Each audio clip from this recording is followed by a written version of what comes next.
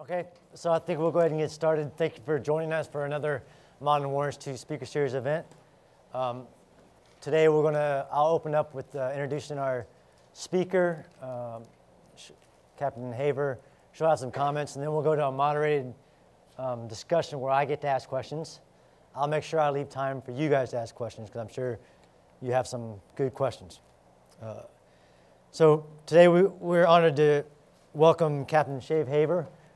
Uh, from, she graduated the United States Military Academy in 2002.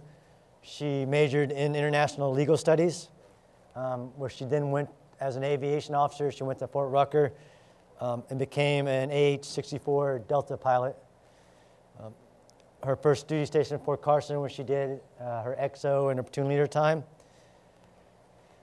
And then, you know, as we all know, in August of 2015, First Lieutenant Haver graduated alongside Captain Kristen Griest from the U.S. Army Ranger School, becoming one of the first two women to ever wear the Ranger tab. Um, she then later went to the Maneuver Captain Career Course in 2016. Um, she volunteered to transfer to infantry, uh, now serving in the 3rd Brigade Combat Team, 82nd Airborne Division, as an assistant operations officer. All right, with that, I'll turn it over to Captain Haver and I'll interrogate, I mean, have questions for her shortly thereafter. Sounds good. Thank you, sir. Uh, so I guess I was here about a year and a half ago, and I was very excited to tell all of you that I was going to stay in aviation and then I was going to take my Ranger tab and to carry that with me um, to help educate uh, my other flyer peers um, on what the ground guys did. Uh, so I am excited to tell you I did change my mind. Uh, it took about 10 months of deliberation on my part, but going through the career course um, down at Fort Benning uh, and being with my peers who were in the maneuver branches kind of gave me uh, a different perspective um, and uh, helped me choose, I think, the better right um, and move forward and continue to, uh, to look for opportunities down that line. So um, I take uh, a rifle company command in April and I don't think I could be uh, more ecstatic uh, to know that I'm going to have that opportunity. Uh, so that's kind of where I am at right now, pre, pre-command, post, post-command course, uh, waiting for the opportunity to, to take command of 140 steely-eyed killers. So um, with that, uh, sir, whatever questions you have, fire away. All right, let's do it. so I'll start off with the easy question. you know, in August of 2015, you graduated Ranger School. Uh, can you tell us how you prepared yourself to be a part of that first class? So I think it's important to note that um, being an athletic individual is inherent to being in the military. Um, I think that you, you may know here, uh, you get stovepiped into academics and driven into academics, so it takes a little bit more effort to pay attention to the physical aspect of what being a leader in the Army uh, is. Uh, I grew up playing sports, I grew up playing team sports, uh, and then here I had the opportunity to do um, some other things. I was on the, the triathlon team, um, I was on the rock climbing team, and then, yeah, uh, and then also the strength and conditioning team. So some personal interests, uh, some you know influenced by my team leader at the time when I was a plebe to go be part of the triathlon team. Not only did I gain some um, you know insight into in what endurance athleticism really is, um, but I found like an appreciation for tackling those things on my own, especially in an environment where your time is completely consumed. So. Um, I carry that with me as a lieutenant uh, when I was uh, stationed first down at Fort Rucker, uh, Alabama at flight school um, and continued to pursue my, my own, I guess, endurance sports. And then again, when I went to Fort Carson as a platoon leader, I continued to climb and I my weekends were spent, you know, looking for other for races and other things, you know, run races, things that got me outdoors, uh, competitive, uh, and to continue to build that endurance base. Um, so my, I guess, my, my lead up to uh, even knowing that this was going to be an opportunity for me was, was all an endurance uh, background. Um, not to say that the strength uh, and conditioning piece, which I got into very heavily here as a cadet, um, didn't matter as much, but the base that I needed uh, once I got to Ranger School came from that endurance, um, that, that endurance pursuit. And then, uh, once I was at Fort Carson, uh, and the Ranger program was going to be opened for uh, females to go at, at, initially when it was opened, it was opened as a, um, a, a, trial. Uh, they told us we would be able to wear the tab initially, um, but that we uh, weren't able to uh, have the designator and, and, whatever else. So to me, I just I thought it was like, okay, this is going to test my physical ability, uh, my tactical ability uh, to do what my peers are being required to do right as they come out of you know their their initial um, basic officer courses. Um, and so what I did to prepare, I knew that as an aviator, I hadn't been under load. Uh, so uh, rucking was a was a something that I had to focus on, and then upper body strength. So as a female inherently, um, I had to focus uh, on grip and uh, overhead uh, strength. Uh, and I knew that from my strength training background. And so I focused on pull ups and doing pull ups with weight, overhead pressing things, carrying odd objects like water cans and things to get your hands like used to carrying odd things.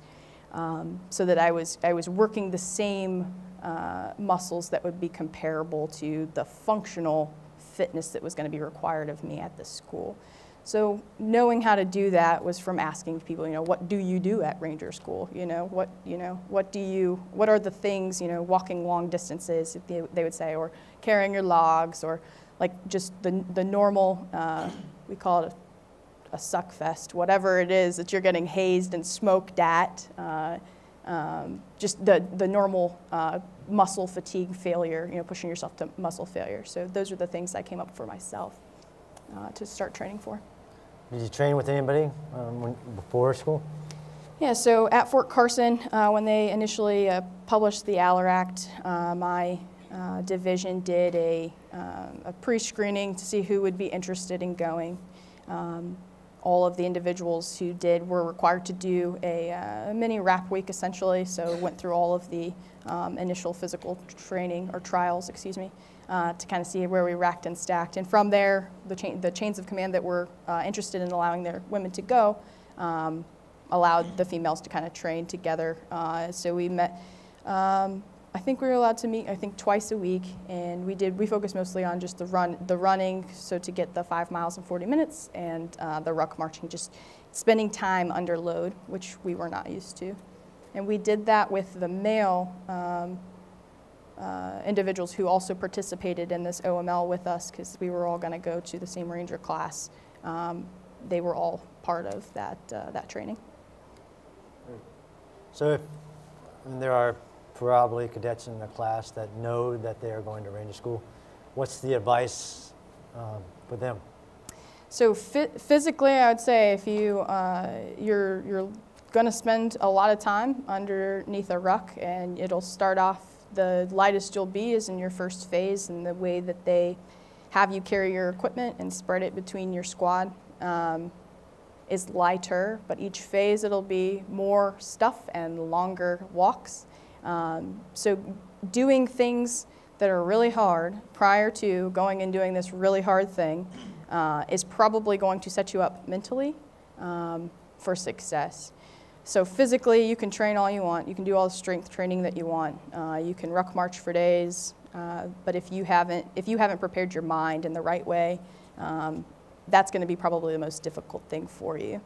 So my my advice um, and the things that I tried to do is, okay, what, what are some really hard physical things that take a lot of time um, that I've never done before? So running a marathon or something like that. Just pick a goal, pick something uh, that's hard to you um, that you know that in your mind you're like, man, I would, I don't know if I can do that. Do it so that when you get to the point uh, in Ranger School, which you will, and you're like, I can't do it. You're like, eh, I've done something else before. I've, I've pushed my mind beyond something else before. And then just don't quit right. All right, that's, that's great. Um, so let's, day one, uh, what was Ranger School like for you? Uh, day one, uh, you do a lot of in processing, and then you sleep in a barracks. Well, they attempt to put you in a barracks so that you can sleep before you take your PT test. They're not allowed to mess with you uh, or anything until after the initial PT test. So it's like very unnerving because you know like the RIs are like walking around, ready to chomp at the bit. They just can't yet. They're not unleashed yet. Uh, so you're like laying in this bunk, and like people are snoring, lots of weird noises. And for me, all I was thinking about was the next thing that I had to do, and the very next thing I had to do was push ups 49 push ups. And in my head, I kept on counting to 49 like a crazy person. Um, and visualizing myself doing 49 of the most perfect push ups I could possibly do um, until the next morning where I performed my 49 push ups and had to move on to the next thing, uh, the next event. So uh, for me, the first day was the mental game, and I knew I had to prepare myself mentally to, to take one thing at a time uh, and do every single event like it was the last chance, last opportunity I was going to get to do it, uh, because I knew that that's what I needed to squeeze out that extra juice and to, uh, to not give up on myself. Okay. What's the rest of it? The rest of Ranger School? Yeah. I mean, the story of Ranger School is you just don't, you just don't quit. Um, I think that the most difficult thing for me uh, was not recycling the first phase three times, um, which caused me to spend 124 days in a 62 day course. Um, but once I got to Florida, Florida phase, um, all of my peers that I had been going through Ranger School with up till that point um, something something crazy happens to you in Florida, it's like there's a light at the end of the tunnel, and so everyone starts to kind of like freak out because uh, they want to be perfect. They don't want to mess anything up. Um, and it really is a team sport. In Ranger School, you're not the one that's going to get your tab. Your guys are going to get your tab for you, and so it's about leadership. And uh, it's, uh, it's, a, it's an odd animal. It's a weird leadership uh, situation to be in uh, because once guys know or think they know they've gotten to go, it's really hard to keep them in the game. So I struggled with, uh, I think morally, because I was so, I was so invested. Like all of my emotions were invested in this thing to watch people start quitting. Uh, like I took very personally, um, and it, uh, it was very, it was very difficult. So on top of the fact that I'd already been in that school for forever, my body was broken down. I was hungry and tired, just like everyone else. Uh, I now felt emotionally, personally injured that people weren't uh, as excited to be there um, as I was. So you, I mean, it sounds like you deliberately had a very long view in preparing yourself. Was there something that happened in the course that made you say, man, if I would have known that, I would have prepared differently? Um, preparing differently, I think so. Everyone focuses on the physical aspect of it. Um, so remembering that it's a mental game, and then remembering once you're out of RAP week, uh, your your job is to get a go from everyone else around you. So uh, I spent some time. I spent some time, uh, thankfully, because I went to the pre-ranger program down at Fort Benning before I was allowed to go to the ranger or start the ranger course. Um, I had an idea of uh, from the ranger handbook and the the order of movement boards that they brief you and stuff there what duties and responsibilities were required of me. So I, I studied those. I made sure that I knew those. I know who I'm supposed to take on me on my leaders recon. I know who I'm you know what equipment I'm supposed to have in my ORP or with me when I move um, tactically. Uh, and, and taking the time to do that ended up giving me, even though I might not have done it right every single time or whatever, it gave me that like foundation that I needed. So just like at school, you're learning a bunch of foundational things you haven't been able to exercise yet. Um, it's, it's good to have that, that initial baseline knowledge to take with you uh, and then get to apply it. You might mess it up the first couple of times, um, but it's there, it's in the back of your mind to reference. Um, and to, to actually help everyone else. So, as you know, as somebody preparing to go to Ranger School, a lot of people have advice. Was there any types of advice that people gave you, either as a Ranger student or as the first female Ranger student, um, that you say that if they get, don't listen to? Oh, if they get, don't listen to? Um, no, you'll be told, like, you're an officer, so do the op orders every single time. Uh, that is definitely a way to help out your peers because you understand it a lot more than a private or a specialist who's going through with you. Um, uh, there are, I guess, advice not, uh, not to take. I think if you're given the advice to uh, to take it easy on your day off, then that's probably the wrong answer. There's going to be lots of times when uh, you may have gotten your go, um, and so you would like to just be a rifleman and hang out and uh, just walk the lane. Um, but your buddy, uh, who's in a leadership position, you know, could probably benefit a whole lot more from you being the RTO or being right there next to him, um, helping him out. It's going to be really hard to force yourself into those positions, those situations to actually continue to help when it's not your turn. Um, but I would say that it'll benefit it'll benefit you in the long game because you travel together with these guys whenever you, you go on to the next phase. Um, but again, Ranger School is a blip in time to your career, and you'll learn the most, and people will remember the most, and you'll influence the most while you're there. You're coming straight out of BOLC, you're coming straight out of wherever you are here, um, going straight into school, and you're setting an impression of what officers and leaders are. You may not be wearing your rank, but they know they know who you are, and they know if you're going to quit on them, and they know if they can rely on you down the road. What about myths? Any myths you want to help put to bed, either as a Ranger student or as a female integrated into a male dominant squad or platoon? Um, so there, there's a thing called golden walks. It's not always a good thing. Uh, so the myth sometimes with a golden walk is it's, it's, typically like the RI's final walk, their last walk with the squad uh, or the platoon.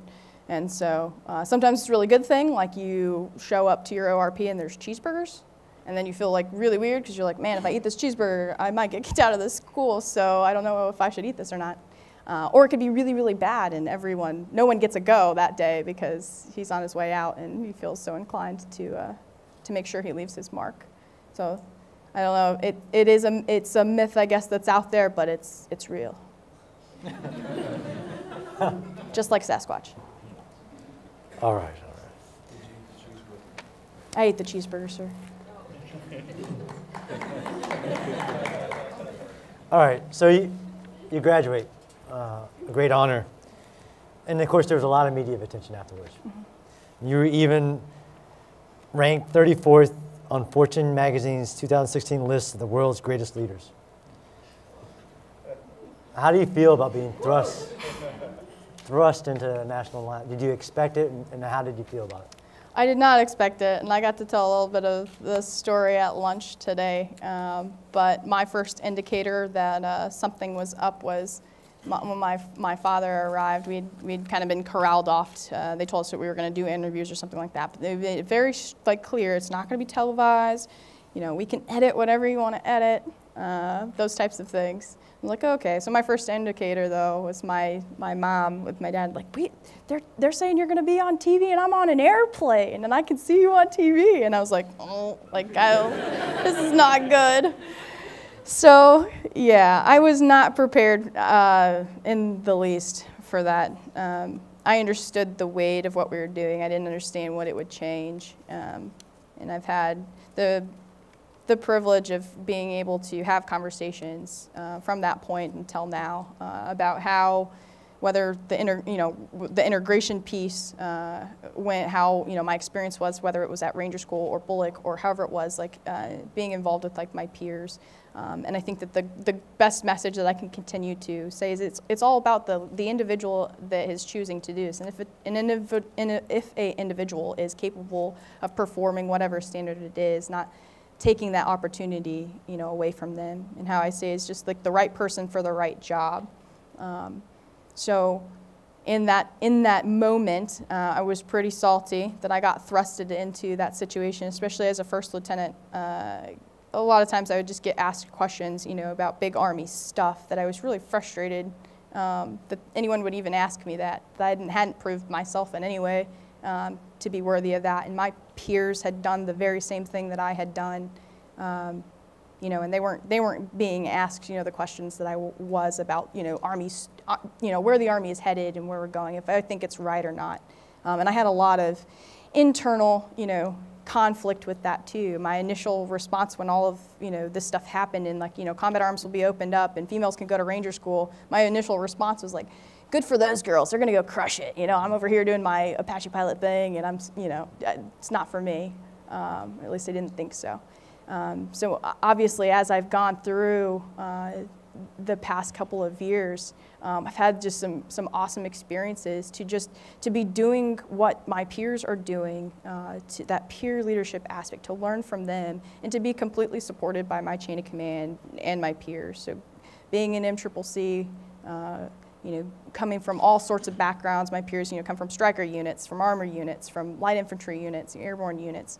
Um, and we all come together. Uh, we all get jostled around, learn the same baseline stuff. We're branch qualified, and we're now sent out to the Army to go command, you know, America's sons and daughters, you know, in, in combat situations is, is what they're expecting us to go do.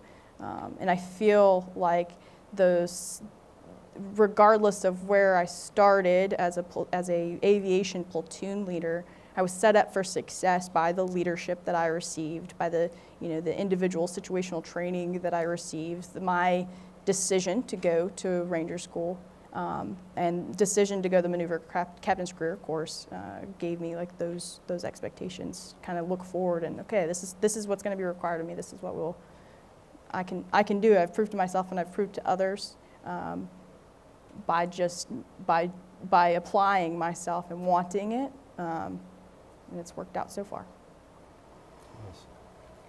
So you're about to become the first U.S. female company commander uh, of an infantry company. How did the Army prepare you for that, or how did you prepare yourself for that?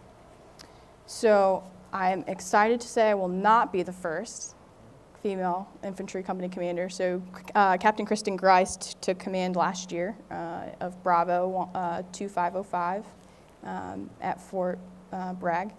And uh, so when you talk about how do I prepare, uh, she's, uh, she's awesome. She's absolutely been uh, sounding board for a lot of stuff and watching how she's gone through and navigated that. But um, the career course, I think, uh, did the, the best way of like explaining like training and how, you know, the very foundational things that you need to know and do as a company commander. Um, but I think, uh, as much as I despise saying this, but I spent 12 months on brigade staff as a planner, and I don't think anything could have probably prepared me better for uh, what it is the 82nd Airborne Division does um, and our mission set specifically, and probably gave me the best insight uh, as to how to perform my duties and what my responsibilities are as a company commander in the unit that I'm in. So, would you say Captain Grice just at Let's talk about mentors then. Sure. If, if Captain Grice has been a great aid to you in what you're about to do, sure. have mentors from the beginning been a part of this process mm-hmm. um, or not? Yeah, so uh, I have a theory about mentorship. It's that you know, you if you seek out them, or you should actively seek out mentors, uh, but it's not their responsibility to continue to mentor you. You kind of owe them something in return, which is you know taking their advice, processing it, and and giving back, and continuing to um, continuing to pursue that, that mentorship. Um, it's, a, it's a give and a take. It's, it takes a lot of time um, and effort for another person to invest in you and uh, to, to put their trust in you, I guess, to uh, put their name to put their name on you. Um, I didn't really think that it was that big of a deal until I got into my situation, um, and I've had the the great like like opportunity to be a mentor to other people um, as well. And so I've started to take it, you know, take a different look at what that actually means. Um, but my mentors, uh, Kristen has been, you know, more like, you know, a peer mentor and being graduating you know, a year before me and kind of leading the way in a lot of the things that we've done over the past two years. Um, it's, it's great that we can have these conversations about uh, whether it's leadership or just, hey, how did you, you know, what system did you use for this? And, um, you know, how did you, what kind of, how did you have these kinds of conversations with your peers or, um, or your soldiers, your first sergeant, those types of things. Um, and then other mentors were, you know, helped me make the decision that I did make to switch into the infantry, um, which at the end of the day was whether I wanted to uh, command machines or, or people, individuals, personalities. Um, and uh, I felt like my experiences through MCCC and through Ranger School really gave me a perspective that I felt here at the Academy, the camaraderie, uh, the teamwork, um, that I wasn't exactly uh, getting from the aviation branch just by the mere fact that it's a very technical and um, uh, individual uh, job. When you're in the aircraft, you're managing that aircraft and you know maybe a couple other helicopters, but um, it's not the same as having you know a platoon of 40 dudes running around, you know, and, and controlling what is the chaos of limited or, or no communication or you know um, whatever other problem sets arise, you know, from, from being on the ground in that way. So um, having someone help me talk much about being in ranger school and you know what, what things are motivating you now to continue to be in the army you know even after having you know been thrusted into the limelight like you said you know what makes you want to continue um, and that conversation you know ended up being pr- pretty simply just the people so um, the soldiers are definitely worth it. Do you feel an ownership to be a mentor now? Um, I think so, but it, it is hard um, because you can't be a mentor to everybody, and I don't believe in like you know assigning mentors. And just because I have a, a female you know lieutenant maybe that's in my shop, you know I don't I don't naively think that I'm now just you know I'm responsible for her. Uh, I expect if she wants my advice that she would reach out the same I would with uh, any of my male lieutenants. Um, that's not to that's that's a separate from like the developmental piece, which I absolutely own, and whether my lieutenants want it or not, they they get lots of development uh, from me. So. So, I would say that there there are cadets still, as we have lots of conversation conversations about integration, they're still apprehensive about choosing that path. Um, I know you get asked a lot for advice, but you know, if people are making that, you know, cadets are making that personal decision, what kind of advice do you give them? Yeah, it, it's hard because it's twofold. So sometimes, uh, based on your personality, you're like you're very hard on yourself when making like the decision whether to go combat arms or not, because it is very, uh, it's a daunting thing to look at. Um, it's a very specific, uh, dirty, thankless um, job, and you're required to do, you're required to do bad things to bad people. Um, and that, that is not for everyone. But sometimes you're too hard on yourself thinking that you cannot do those things. So you got to be situationally aware, self aware, and, and, be able to assess hey, am I, am I doing this because I'm afraid, or if I, am I not doing this because I'm afraid? Uh, or am I not choosing this because I'm not, I'm not, I truly am not able. I'm doing a good self assessment. Uh, I truly, you know, should not be put into this position. And when I have conversations, um, with other females who've chosen, whether they're lieutenants uh, or um, uh, younger enlisted. Um, and we have the conversation about why they're doing what they're doing. Uh, if I hear anything but, you know, this is this is what I want to do, uh, and I, you know, I'm doing everything I can, even if I'm not, you know, the perfect fit right now, I'm doing everything I can to to get after that. Um, if it's anything other than that, um, it, it's disappointing, just like it would be to ask, you know, any, any male, uh, you know, well, I just think that this is what ex- what's expected of me because I went to West Point, I'm supposed to be an infantry officer. That's the wrong answer. You should own it uh, 100%. If you're not going into the infantry because you truly want to lead men and women to close with and destroy the enemy, which is our job, then you don't need to do that. There are plenty of other opportunities, pl- plenty of other jobs uh, to do in the Army that are, are honorable and they're just different.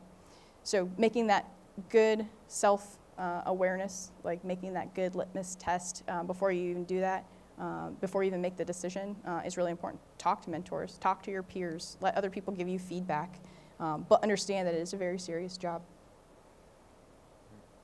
Okay, uh, I'm going to hand it over to the crowd for questions, and if you don't think of questions, then I have more.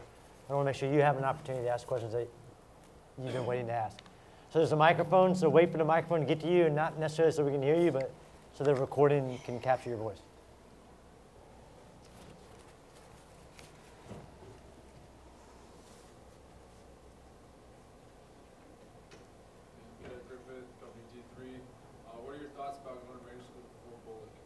Before BOLC? Yes, I think it's an awesome opportunity. Um, even, even if you, I don't know what your requirements are, whether you're allowed to recycle or not, um, but just the mere uh, like opportunity to go, you will never experience anything like Ranger School uh, anywhere else. uh, and you not even Beast Barracks, you know, like I will compare to the amount of uh, just people getting in your business, telling you that you're not gonna, you know, make it, uh, just like roughing you up, pushing you to your stress red line.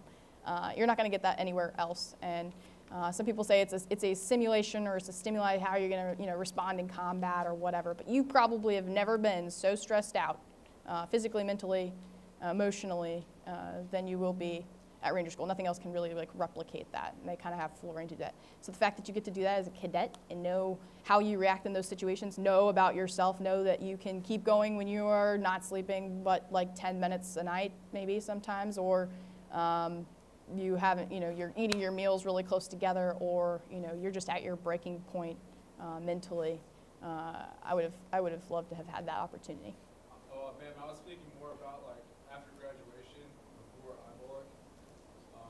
Is that, a, that's an option? Yeah, so, and I think one of the big questions with age limit is they, they feel that they make a decision, you know, they get, they go on an ML is there's a thought that they should, some of them use the thought that they want to wait until after they've had the training of IOBC, mm-hmm. with the OBC before attempting Ranger School. So Do they kick you out of the branch if you fail Ranger School? Then go. Get the experience, go.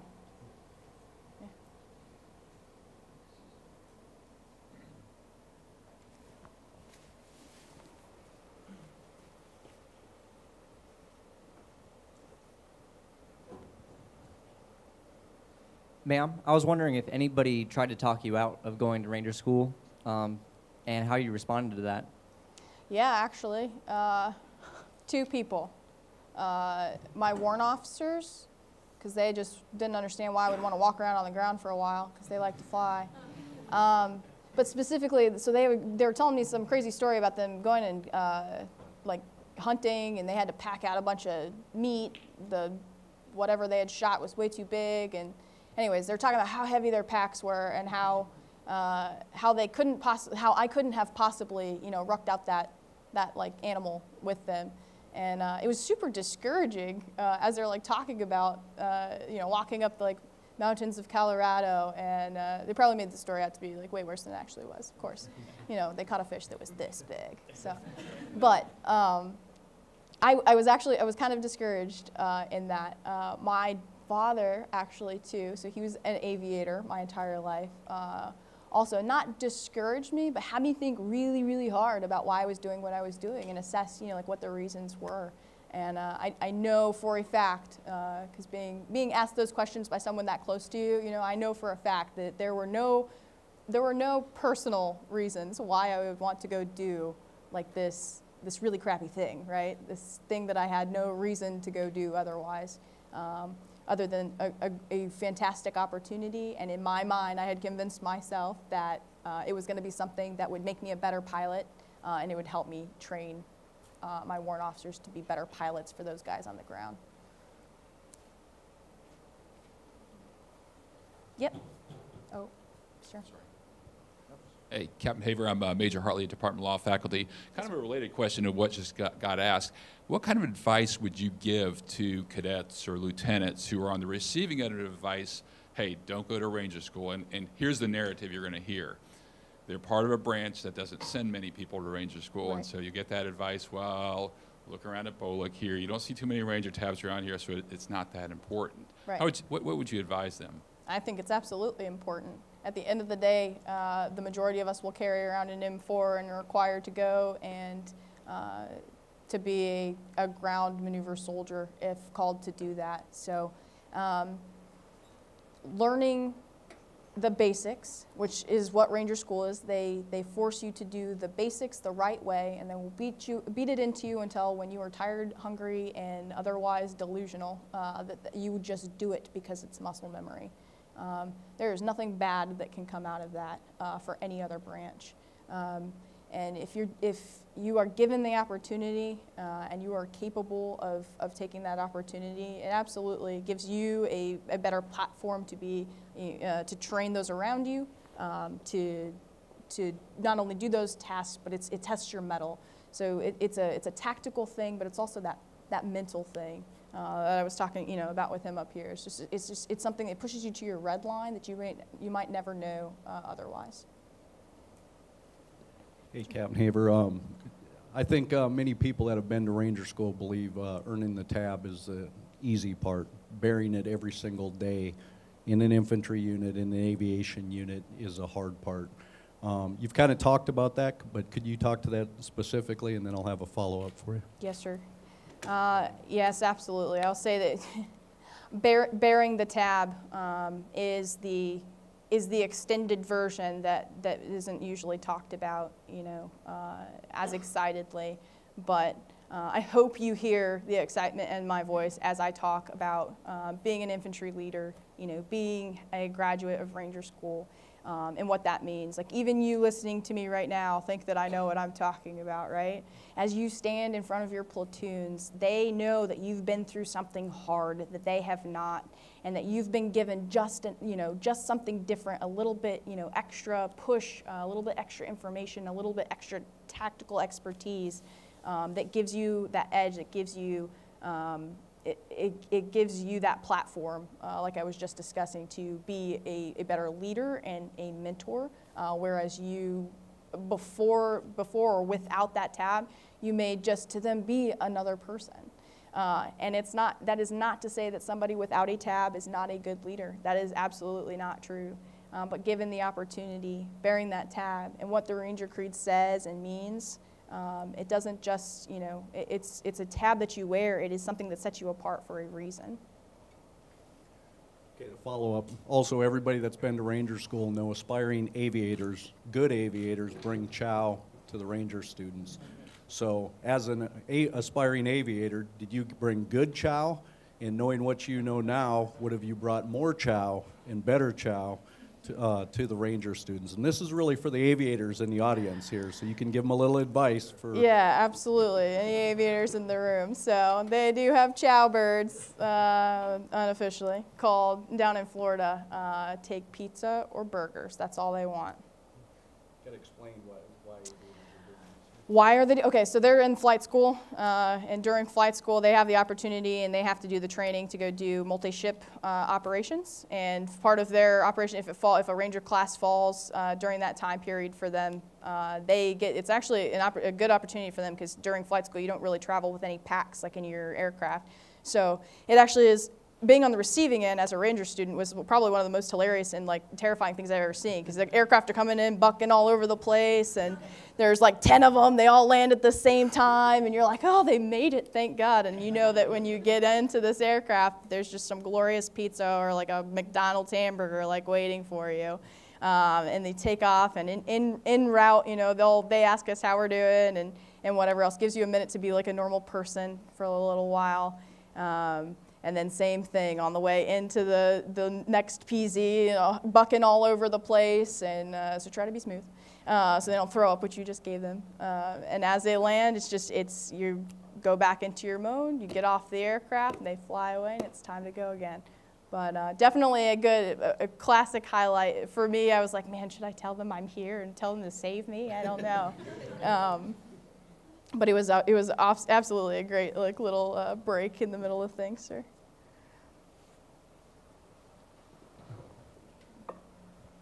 I'm Cadet Cadet Maddox, Go Army Climbing. Um, my question for you is: Major Spencer spoke to you a bit about um, being thrust into the limelight as a young leader, um, and you've really stayed in that limelight. And we talked earlier about how the cows and firsties have watched you graduate Ranger School and um, begin to take company command.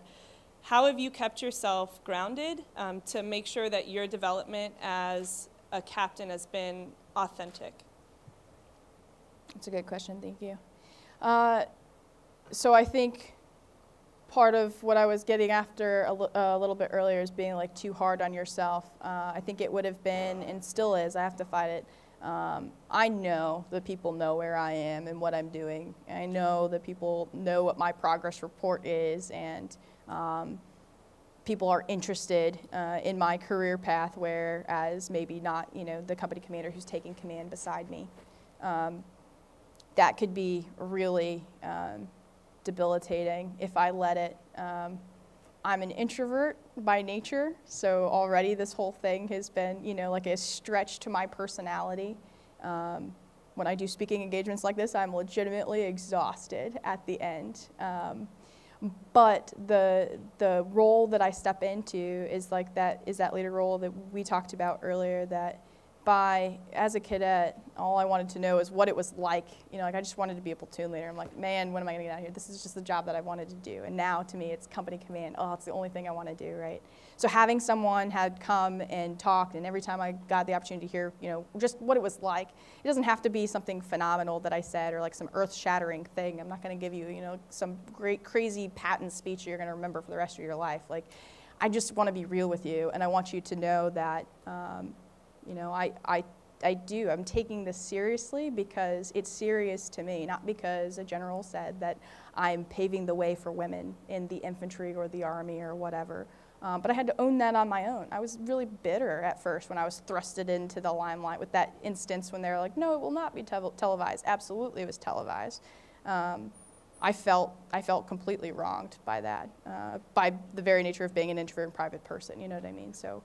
Um, it took me some uh, it took me some maturing to step into uh, I think where I am now, which is I can kind of I can separate the um, like the the starstruckness of it um, and the extreme pressure of it, and I see this is my job as a leader. Uh, you're going to be scrutinized whether you are a famous leader or a non-famous leader uh, by your Joes every single day. Uh, God bless them, and uh, it, it, it's your responsibility. So if I can take out all that other stuff and just focus on it like it's, it's my normal day-to-day job, um, other captains get to come and talk to you. You get to talk to you know people who work here every day, and you get to hear from their experiences. And I think if I think about it like that, then it's that's not so bad. Um, but yeah, I just I want you I want you guys to know that it doesn't take. You don't have to. I didn't come here, and I wasn't you know I wasn't some crazy you know already, you know, they deem me this is going to be the first female ranger of the United States Army coming to West Point. I was a scrawny, squirrely little kid when I came here. I was 17 years old. My mom signed my waiver, and I was like, yeah, thank you, mom, you know, ready to go. I had no idea what I was getting myself into. Uh, it just, I think that every opportunity that I was given to take and, and run with, uh, I surprised myself, and I just didn't, I didn't stop. So as you guys watch me continue to progress, I'll, I'll keep it in mind, but I won't let it, uh, I won't let it destroy me. Yeah. Uh, Ma'am, Cadet Oriani, Company B1. So, have you experienced uh, any like pushback or suggestion from your peers uh, in terms of different treatment, or uh, in terms of Ranger School, and then going into the infantry now? Sure. Um, How have you dealt with that? Sure. So I think the only thing at Ranger School, uh, there's this thing they call manfernos. Uh, it's pretty much when it's cold outside, everybody gets together in a really big huddle, and they call it a manferno. Uh, they were concerned that I would be upset with that, so they started calling it a person ferno. um, I appreciated that, but they didn't have to do that. Um, and uh, in my current job, outside of the schoolisms, um, I haven't I honestly haven't had uh, the pushback, uh, and I will go back to every single time. It is about me as an individual, uh, I guess, uh, that uh, I'm, I'm, a hard worker and I want to be doing this job, and every time I go back to that, I think my peers can see that, uh, know that. my, my desire is to be an effective leader and a team player. So whenever I do that on a daily basis, I don't think my, my peers, at least they haven't complained to me thus far, about my capability, you know, to work alongside them. Um, that, those are the things that I, that I focus on. I will say that as a captain, it's a little bit different. My peers are a little bit more mature, um, and we've, we've done other things. Um, lots of my peers have deployed or have you know, been in uh, other organizations prior uh, to coming to our situation. Um, I think it's a little different from the, from the lieutenants who started off in BOLC together um, are now you know in their first units together and are experiencing at the at the platoon level um, the the stress or maybe the um, just the challenges of dealing with younger, more immature personalities. Um, so I can't I can't specifically speak to that until I get down to the company and see what kind of hot heads and you know uh, the individual personalities, you know, that, that I have. But my experience thus far, I have not, I have not received the challenge um, that, that I think that you're, that you're talk, that you're speaking of. Perfect, perfect instances, and uh, unbeknownst to me, my first sergeant that I will, that uh, will be with me in my company, um, about a year ago, uh, he, it was my first interaction with him. And I was going out to platoon live fires to go walk them because I'd never walked platoon live fires before. And I go meet my battalion commander, who's my current battalion commander. Um, and they give me a sim brief. They say it's great that I'm out there. Glad that I took the initiative to come out and walk the lanes. And then they're like, now First Sergeant Krill is going to take you to his truck. And I was like, okay. I get to First Sergeant Krill's truck. He's like, ma'am, take off all your gear. I was like, okay. So I start taking off all my gear. He starts just taking stuff off, putting stuff together, uh, essentially hooking me up because apparently I look like soup, just all over the place. It was not to the infantryman's standard. Uh, so I was extremely grateful for that. Uh, he told me to put it back all, all on. He sized it up for me, made sure I was squared away, and he looked, at, he looked at me and said, um, I'd never been taught that before, so I couldn't be held to any type of standard, and now it was my responsibility to make sure that my lieutenants didn't look like that. Um, and then he said I was, he was glad that I was there because he could tell that I cared, and that's huge. And unbeknownst to me, he'll now be my first sergeant, so that's pretty cool.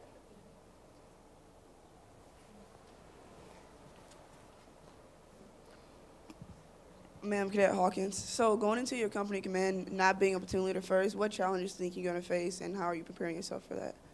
So uh, I mentioned it a little bit, but being on brigade staff and being on battalion staff has given me a great opportunity to see all the things that I think I probably uh, just didn't have a firsthand experience in as a lieutenant.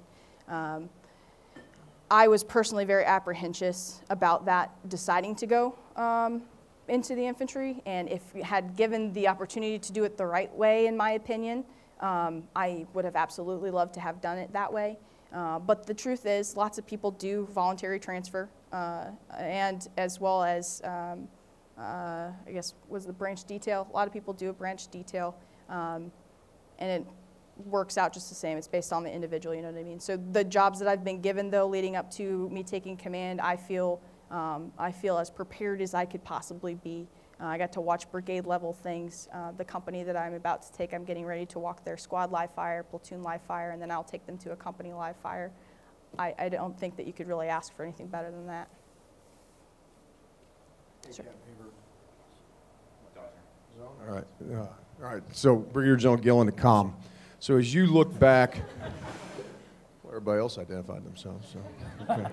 As you look back on uh, your time, you know, at one point you were sitting out here, right?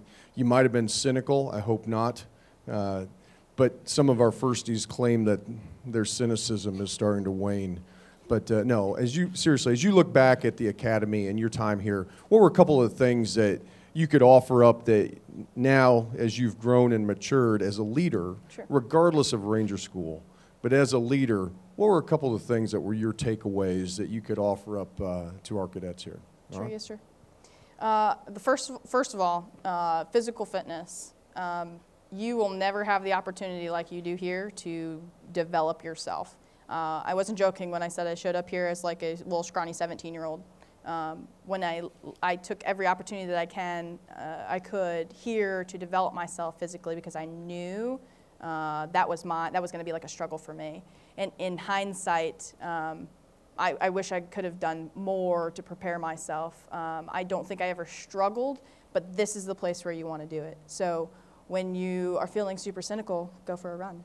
Or when you feel like there's, you know, something like, what can I be doing to, you know, prepare myself better? Get, figure out what it is that you need to do to, that's your, you just walk into a room, you're going to immediately be based off the way that you look and the way that you act and the way that you showed up at PT and how you performed with your guys. Doesn't matter. In your BOLC, it's going to happen, and then when you get to your unit, it's going to happen. So physical fitness is absolutely key, and here you have the time to do that. Um, I'd say the other, the other piece, you're never going to stop leading your peers. Um, you don't have uh, real subordinates here as an upperclassman. You, you do, but they're still kind of your peers. You're in an academic setting. Uh, learn how to lead here. And I know that sounds super gen, uh, generic. Um, I even worded it a little bit differently in the MX400 class I was in earlier, but decide what kind of leader you want to be here. Um, and not wait until you know your first interaction with your platoon sergeant and he challenges you uh, on the fact that it's his platoon and not yours. What are you going to do? Okay, well I have hard, you know, I have hard lines already. I've thought through some of these things. Do some rehearsals in your head. Put yourself into, uh, start thinking um, about those situations because this is super important. Academics super important, but think about the long game. What are you doing to develop yourself, mature yourself to be a leader specifically? Great. Sure. Um, I think we're about out of time. Um, so we have her schedule packed, but she might have a moment afterwards to uh, talk with you if you want to stop by. Thanks again for coming to another Modern 2 speaker event. Be sure to follow our website, mwi.usma.edu, for your daily articles uh, to prepare yourself for the future battlefield. You can follow us on Twitter and Facebook. First. Look at that.